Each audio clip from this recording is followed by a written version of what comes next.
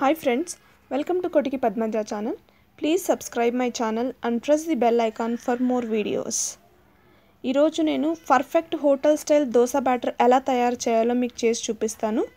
మీరు కూడా ఇది తయారు చేసుకుని మీ ఫ్యామిలీ మెంబర్స్తో ఎంజాయ్ చేస్తారని ఆశిస్తున్నాను.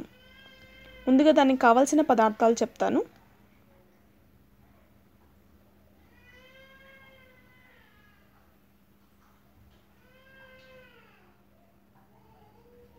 దోశ బ్యాటర్కి కావాల్సిన పదార్థాల్లో మొదటగా నేను ఇక్కడ త్రీ కప్స్ రైస్ తీసుకున్నాను. ఒక కప్పు మినప్పప్పు ఒక కప్పు అటుకులు వన్ అండ్ హాఫ్ స్పూన్ పచ్చిశనగపప్పు ఒక స్మాల్ స్పూన్ మెంతులు యాడ్ చేశాను ఇక్కడ. సో ముందుగా ఒక పెద్ద బౌల్ తీసుకొని త్రీ కప్స్ రైస్ యాడ్ చేసి అందులోకి మెంతులు కూడా యాడ్ చేయండి. ఒక బాగా వాష్ చేసి ఒక ఆరు గంటల సేపు నానబెట్టండి.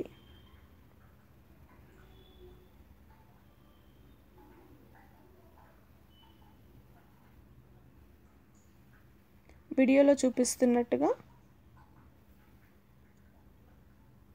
రైస్ మెంతులు ఒక బౌల్లో వేసుకొని బాగా వాష్ చేసి ఆ నీళ్ళు వంపేసి ఫ్రెష్గా నీళ్ళు పోసి మూత పెట్టండి.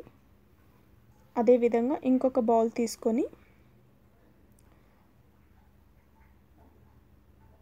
ఆ బౌల్లోకి వన్ కప్ మినపప్పు యాడ్ చేసి తర్వాత శనగ పచ్చి పచ్చిశనగపప్పు కూడా యాడ్ చేసి బాగా వాష్ చేసి వాటిలో కూడా వాటర్ వాటర్ పోసి ఒక ఆరు గంటల సేపు పక్కన పెట్టండి.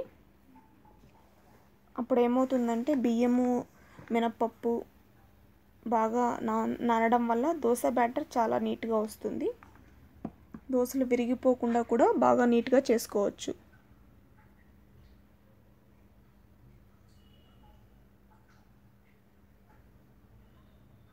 ఇలా వీడియోలో చూపిస్తున్నట్టుగా సపరేట్ సపరేట్గా నానబెట్టి మూత పెట్టండి. ఒక ఆరు గంటల తర్వాత చూస్తే ఇలా కనిపిస్తుంది. సో మీరు ప్రొద్దునే నానబెట్టారనుకోండి evening four five o'clock అప్పుడు మీరు మిక్సీ చేసుకుంటే సరిపోతుంది. సో ఇలా వీడియోలో చూపిస్తున్నట్టుగా ఫస్ట్ బియ్యాన్ని అంతా ఒకసారి అలా కలిపి ఆ వాటర్ పక్కన పెట్టుకోండి. మనం మిక్సీ పిండి పట్టుకునేటప్పుడు అదే వాటర్ వేసుకుంటే సరిపోతుంది.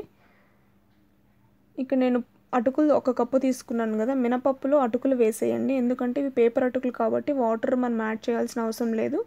మినపప్పులో ఉన్న వాటర్ అటుకులకి పట్టి మనం మిక్సీ వేసే లోపల సరిపోతుంది. మొదటగా మనం బియ్యము తర్వాత మెంతులు పట్ట పక్కన నానపెట్టాం కదా సో దాన్ని మిక్సీ పట్టుకోవాలి. ఒక మిక్సీ జార్ తీసుకొని బియ్యము మెంతులు అందులో వేసి సరిపడినన్ని వాటర్ వేసుకొని వాటర్ ఎక్కువ వేసుకోకండి పిండి చాలా వాటర్గా అయిపోతే దోశ విరిగిపోతుంది.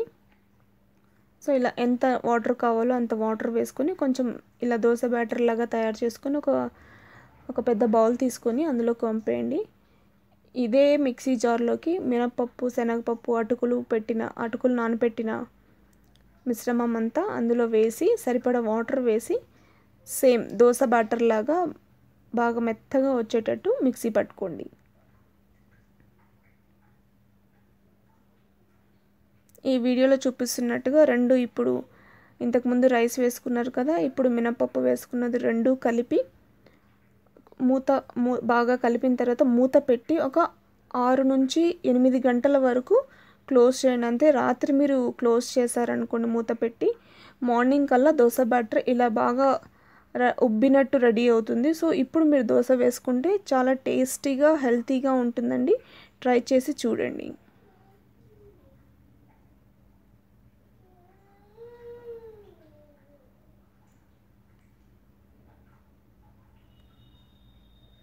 ఈ వీడియో చూసినందుకు ధన్యవాదాలు.